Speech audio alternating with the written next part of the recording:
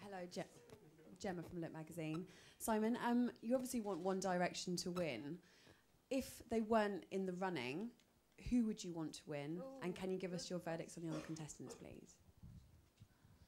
I can't do that. Uh, I do like these. Uh, I, you know, I've, I've been a big fan of Rebecca um, from day one, even from her first audition. I remember Nicole saying to me when Cheryl was away that this girl has got star quality, and she was right. Nicole who? Nicole. Shows Oh, yeah, sorry.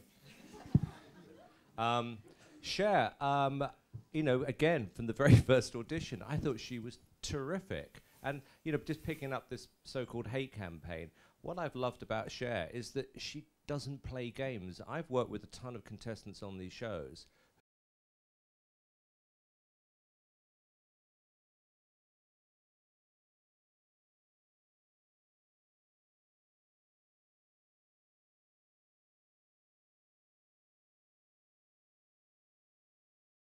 Performances have been outstanding. I think he's a great singer, and I genuinely welcome the competition, and it's made me raise my game. The boys have raised their game, and that's why I'm excited about the weekend. Lady at the back, Mark. Thank you. This is a question for One Direction. Um, Can you say where you're from? please? Gemma from Heat World. Um, our viewers are in love with all of you boys, but we want to know who gets the most attention. Harry. Harry. And Harry, is there any special celebrity ladies out there that you've got your eye on? Now's your. Ch- what was that?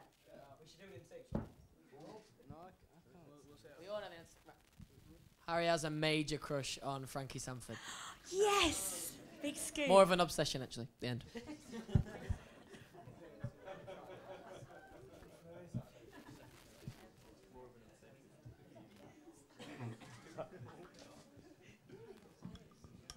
Hello, Ellie from New Magazine.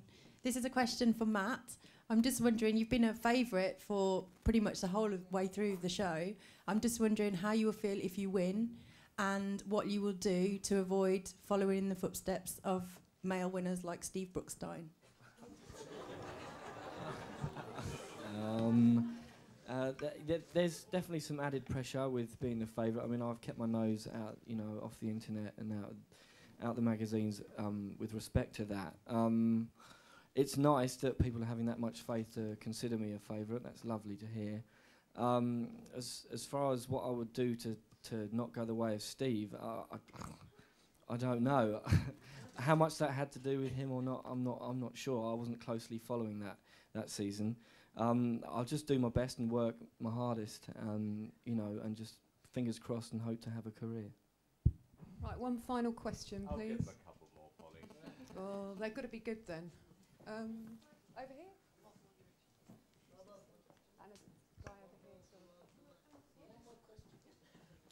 Hi, David Stevens Sunday Express. Uh, question for Simon. Given that um, the public seem to have been misled on how their votes will be used last Sunday, um, would you consider a free phone vote for fans this Sunday?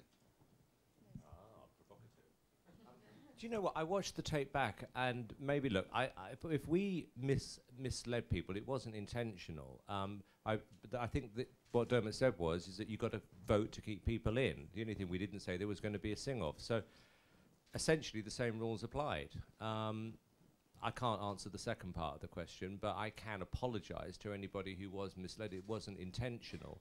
Um, all Dermot and the show were trying to point people to is that if you want people to stay in, you've got to pick up the phone to vote, and the same thing applies this weekend.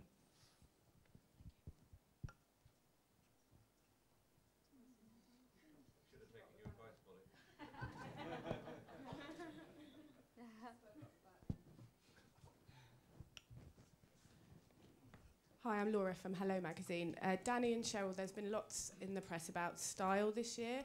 Can you tell us anything about the outfits you've got